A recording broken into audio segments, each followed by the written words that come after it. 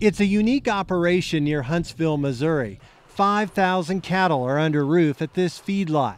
Keeping the cows fed is expensive.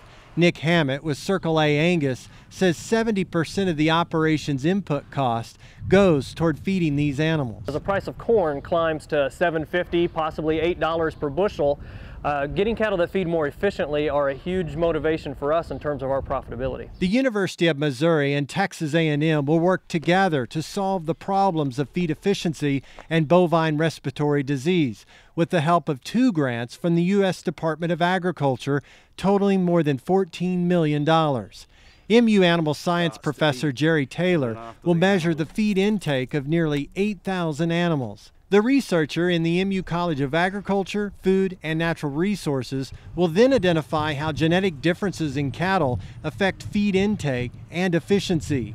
The goal to breed cattle that produce the highest quality of beef with the least amount of grain. If we can actually reduce the amount of time that they're on feed and reduce the amount of feed that they take while they're on feed, to get to that end point, we'll be able to reduce the cost to the consumers. Also, less feed reduces the environmental impact, plus frees up farmland for other crops. The second grant will investigate bovine respiratory disease. The animals with the disease stop eating, lose weight, and need treatment. Even though we try to do everything right with the technologies we have today, we'll still have instances and times of the year where we have outbreaks that cost us literally thousands of dollars. It is a dramatic disease. It causes these animals a, a lot of discomfort. They can die. Economically, it's a major importance, and that's why we need to tackle it.